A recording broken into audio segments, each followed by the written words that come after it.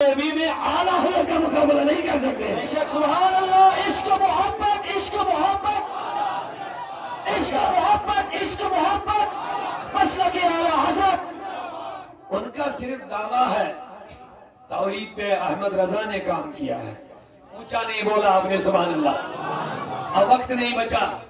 सोए बकरी गडनीचे कुछ आयत दे जल्दी बस तेरे बाने फिर तौहीद के कदल आज जल्दी मैं अर्ज़ करूँ?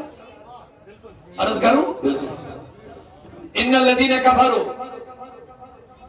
सवा उन लदीन तो हम अलैहिम तुम अम हूँ तुनजिरुम ला युमिनून। हम के तर्जम पढ़ू?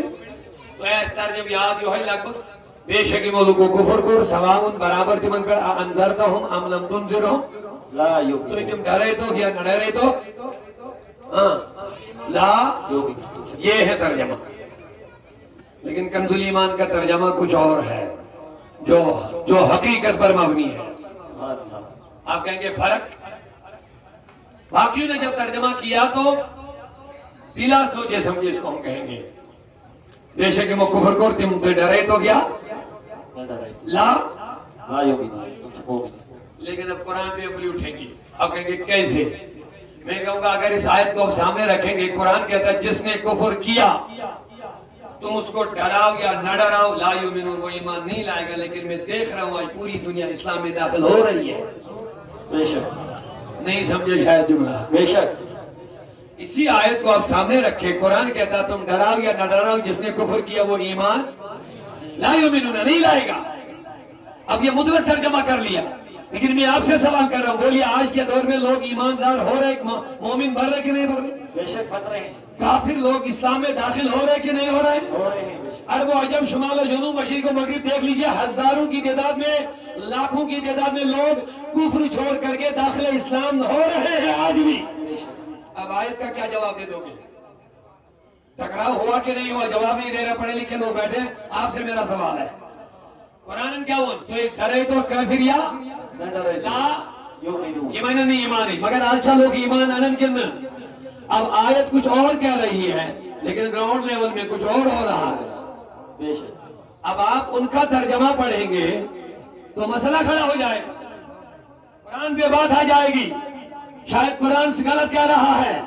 कुरान अगर कहता है, जिसने कुफर किया तुम डरा न डरा ईमान नहीं लाएगा। लेकिन लोग आज भी ईमान ला रहे हैं। बेशक। अब यहाँ अहमद रजा की ज़रूरत पड़ती है। सुबहान अल्लाह। आँखें खोलिए इंसाफ का चश्मा लगाइए। मुझे बड़ा अफसोस ये भी हो रहा है बहुत बड़े सुन्नी अपने आप को कहने वाले भी अहमद रजा से चढ़ रहे हैं। बेशक। क्योंकि उनको पता ही नहीं अभी तक अहमद रजा की शख्सियत का नाम है। चल रहे हैं उनको पता ही नहीं। वो समझते शायद कुछ और है। मैंने कहा मसले के आला हज़रत ही मसले के गौ से आज़म है। बेशक सुबह अल्लाह। मसले के आला हज़रत ही मसले के खाजा अजमीरी है। मसले के आला हज़रत ही हज़रत अलमदार और शेखुल आलम का मसलक ही अहमद रजा का मसलक है। अब आप कहेंगे आज के दौर में उनकी इतनी क्यों ज़रूरत है? ये भी एक सवाल है। आप इन्हीं को क्यों पेश करें किबला मुफ्ती साहब? कोई सवाल करेगा आप अहमद रजा ही को क्यों पेश कर रहे हो? मैंने कहा अगर अहमद रजा के बगैर किसी ने इस आयत का सही तर्जमा किया तो मुझे दे दो मैं ले लूँगा। अल्लाह अगर है कोई जिसने बेहतरीन तर्जमा इसका किया अहमद रजा के जमाने में या उसके बाद भी जो कुरान का तर्जमे का हक अदा किया हो तो जो लाओ मैं उसको भी पेश करता हूँ। लेकिन हर किसी ने बिगड़- दिया तर्जमा। तो अहमद रजा खड़े हो गए। सुबहान अल्लाह यहाँ अहमद रजा की ज़रूरत पड़ती है जब कुरान पे हमला होता है। जब हयात नबी पे हमला होता है तो अहमद रजा की ज़रूरत पड़ती है। जब इल्म गैब रसूल पे हमला होता है तो अहमद रजा की ज़रूरत पड़ती है। बेशक। जब नूर मुस्तफ़ा पे हमला होता है तो अहमद रजा की ज़रूरत पड़ती है। जब मुस्तफ़ा के मुख्तार होने पर हमला होता है तो अहमद रजा की ज़रूरत पड़ती है।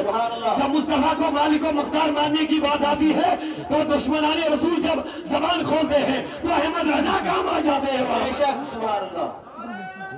अल्लाह अल्लाह अकबर या रसूल अल्लाह दो आइटम